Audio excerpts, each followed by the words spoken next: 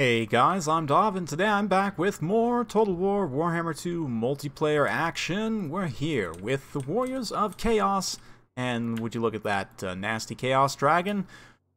Trying this out once more, and we've gone very risky this time, up against Bretonnia, Chaos Sorcerer Lord Lore of Fire, we've got uh, Fireball, Cascading Fire Cloak, and Burning Head. Two Exalted Heroes on Manticores, they've got both Mark of Khorne, basically gives them frenzy, and the Hellfire Sword gives them limited fire damage. Got two units of trolls for some anti-cav slash anti-infantry, summoners of rage for elite magic, anti-large armor piercing, and we've got some Marauder Horsemen as well, who are currently about to get charged. Ooh, it looks like uh, my opponent Gobbo Slayer here, these Royal Pegasus Knights, actually had a charge order on those Marauder Horsemen, um, but now he's deciding to actually try and nuke the trolls here a little bit risky as I'm going to be able to blob in with my Marauder Horsemen to keep these Pegasi on the ground.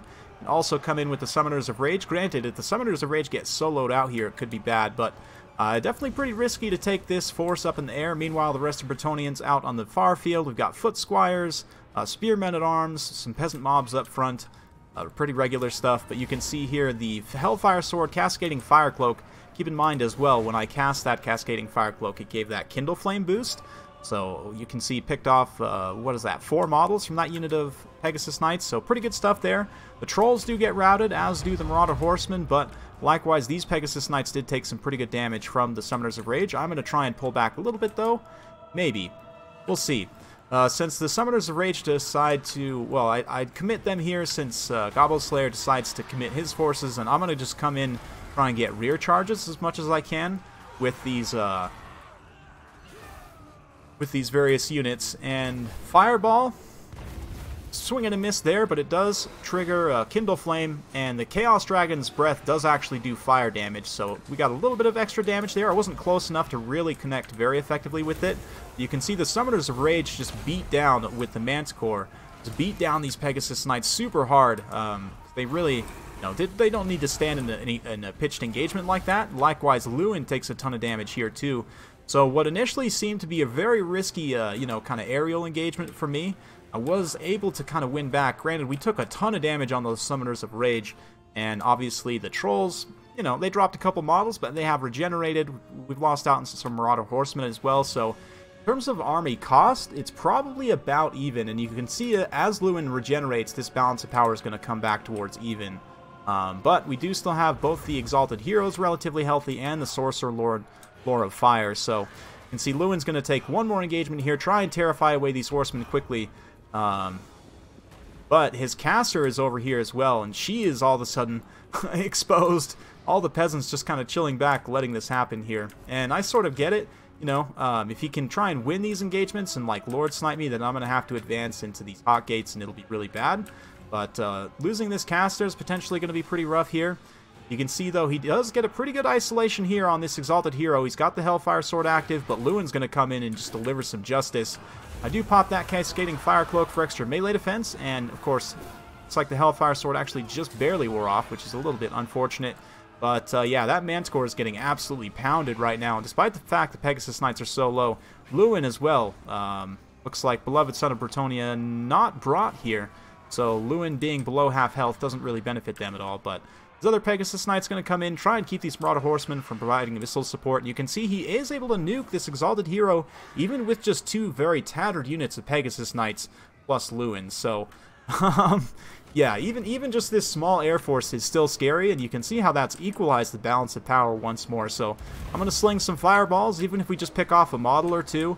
That's worthwhile in the long run uh, to try and, you know, just pick away at their stopping power a little bit. But now I'm like, okay, let's go ahead and advance the army here, get the actual engagement underway. We've been having this kind of aerial skirmish battle for quite some time. He is able to catch out my other Exalted Hero here, Cascading Fire Cloak, and I try and use an air-to-air -air breath attack, which is, to be honest, never a good idea.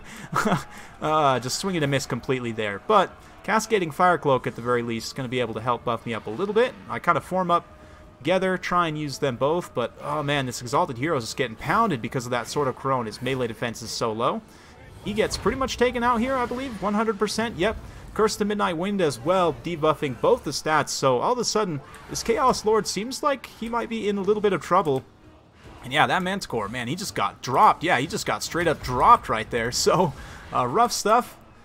Aerial engagement, though, once the once the debuffs wear off, I will be able to kind of start to bring things back a little bit here. And just because Louen's so low, he doesn't he really doesn't want to risk me getting a few lucky hits with that Cascading Fire Cloak active. Um, gonna go ahead and throw another Fireball out there. Pick another model off. And the peasants are now awaiting their fate. You can see the damsel did make her way back over over to the lines here. Um, yeah, Lore of Heaven's interesting. I do understand, you know, the, the Curse of Midnight Wind debuff, and uh, what does she have as well? Wind Blast?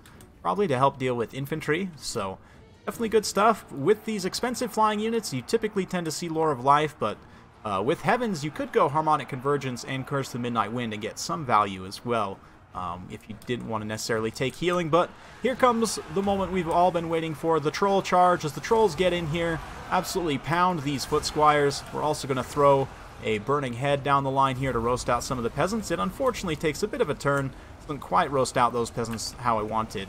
And the Chain Lightning as well in the back line from the Summoners of Rage was a complete swing and a miss, so that's fine. Uh, looks like it came over here and did some damage to these peasants over on the far side. Also burnt out some of my Marauders, but that's fine. We're going to drop a Cascading Fire Cloak, and again, because of that Kindle Flame, just this direct down breath on damage. Look at, uh, yeah, direct down breath on Louen. Look at how much damage that does absolutely insane because of the Kindle Flame there. Then I'm just going to drop and be able to finish him off very, very quickly here. One or two hits and he's down. So, with the death of the king, the Bretonnian forces obviously going to be pretty behind the curve here. The the Pegasus Knights, which had been making a very valiant, valiant stand up until now, all of a sudden going to get pinned in by trolls and this dragon here in a very, very bad situation. Marauder Horseman also coming through. You can see the peasants are getting uh, butchered for the most part. Some of them are holding line. The Beastlayer's Baston able to win somewhat against these Marauders here, but just not looking great. You can see the Spearmen and, uh, yeah, the Spearmen at Arms here are able to hold up the Trolls and the Summoners of Rage out here on the far flank, but obviously with the loss of those powerful air units, the Caster as well just getting gooned by the Dragon, that's going to very quickly lead to army losses. So, uh, fun battle with Goblet Slayer, kind of nice back and forth there in the air. Uh, he was able to snipe out both of my Manticores, which shows, you know, just how risky a build like this actually is to take. Um, obviously, me getting him with the Marauder Horseman at the beginning of the game uh, to kind of charge in and get a few of his models stuck on the ground there, then he did decide to kind of commit into trying to take out the trolls, which I do think was a bit of a mistake. Definitely just should have tried to disengage at that point and just force force me into an air engagement, try and not not involve the ground troops at all, because that's going to bring me a significant advantage, right? Because I've got these Summoners of Rage on the ground, I've got these Trolls that can come in and do armor-piercing support uh, against the Knights and stuff, so yeah. So even just with a few Pegasus Knights and that Sword of Couronne active, they were able to take out both Exalted Heroes quite quickly. Sorcerer Lord of Fire, though, up on the Dragon, I don't know how common you guys see this, but uh, I think it's a pretty good combination, the fact that you get so much synergy there. The Hellfire Sword, I don't know if it's really worth it. Because it has a melee conditional recharge, you're probably not going to get more than one, maybe two at max. Um, I don't know if that's really worth it to bring for the extra fire damage. It may be. You do get the right situation. Um, and maybe against the unit that's baseline weak to fire anyway. The Mark of Khorne, though, I would definitely take. Uh, that's totally worth it. For a relatively cheap upgrade, you get extra charge bonus, melee attack, and weapon damage, which is all really nice. Uh, makes this guy a very powerful uh, Manticore. Uh, significantly more expensive than your old Feral Manticore, but of course he doesn't have Enrage as well. He also has Encourage, and yeah, that Mark of Khorne is a pretty nice little item to take on him. Sorcerer Lord on the Dragon. Again, Chaos Dragons do fire damage, so the Fire Sorcerer synergizes very well there. He's similar to Archaon. He's kind of like a flying Archaon who's not quite as, as good in melee, but he is a better caster in that he has Arcane Conduit. Um, you know, you can also take the Sword of Antiheroes if you want to try and use use him as a combatant. Self-buffing with the Cascading Fire Cloak, of course, if you if you stack it with uh, this uh, this Sword of Antiheroes, then of course you get quite a bit of extra armor piercing damage and extra melee defense to help you stand up take advantage of that charge bonus. Just, you don't have that much melee attack. 46 is really not amazing for a character, but the extra melee defense you get from the evasion helps, of course, as well. And yeah, just pretty decent overall. This Blasted Standard, I don't know that I would take this 12 missile parry isn't really a whole lot. Eh, 54 gold. Probably not. He's already pretty expensive.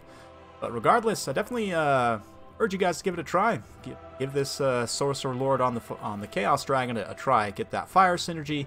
You can synergize with other units as well, of course, to have innate fire damage without bringing Cascading Fire Cloak, or sorry, uh, Flaming Sword of Rhuin. You can bring Flaming Sword of Rhuin if you want, but I, I tend to uh, go with the other spells from that lore, so, I mean, I guess you could bring, like, Swords of Chaos. Uh, let's see, are they really the only with fire damage innately? It seems like more should have it, but anyway, Hopefully you guys enjoyed watching. If you do like this sort of content, be sure to like, subscribe, hit that bell notification button, so every time I upload a new video, you'll be notified. Thanks again for watching, and we'll see you next time.